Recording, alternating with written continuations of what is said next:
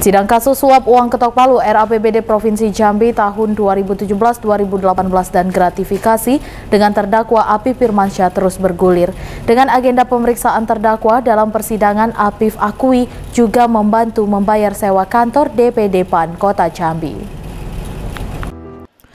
Terdakwa Api Firmansyah kasus suap uang ketok palu RAPBD Provinsi Jambi tahun 2017-2018 dan gratifikasi menjalani sidang dengan agenda pemeriksaan terdakwa di persidangan tipikor Pengadilan Negeri Jambi pada Kamis 16 Juni 2022.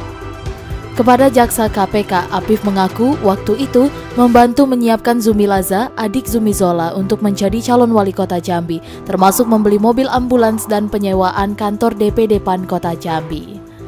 Apif juga mengaku ikut membantu dalam pembayaran sewa kantor DPD PAN Kota Jambi. Dirinya menyumbang sebesar 100 juta rupiah.